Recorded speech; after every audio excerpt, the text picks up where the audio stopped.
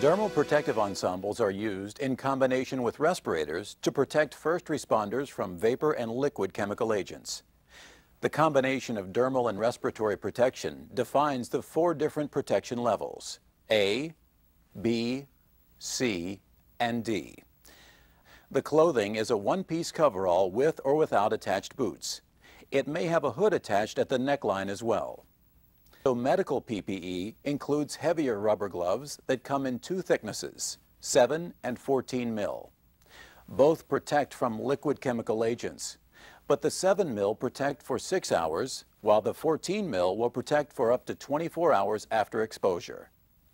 These gloves should be issued to workers along with the standard 25 mil gloves.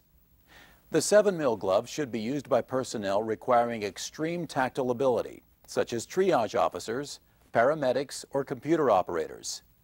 The 14 mil glove should be used by workers who perform duties that require tactile ability, but who will subject the gloves to harsher treatment. Levels A and B PPE are unnecessary for healthcare workers unless they are working in an environment where the hazardous substance or its concentration is unknown. Level C PPE is the approved level for healthcare workers responding to chemical agent incidents. Level D affords minimal protection. It's a work uniform used for nuisance contamination only. The Level C PPE approved for use in CSEPP includes a splash suit, butyl rubber gloves with cotton inserts, and vinyl overshoes or hazmat boots all worn over your normal scrubs or lightweight underclothes. Workers outfitted in PPE should remember that the suit material restricts the body's heat loss mechanisms. The amount of heat accumulation and body fluid loss depends on several factors.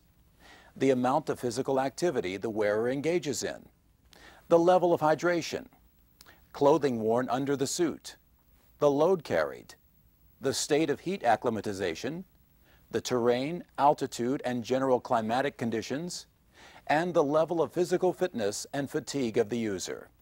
So it's very important that workers wearing hazardous materials PPE take appropriate precautions to rest and rehydrate at frequent intervals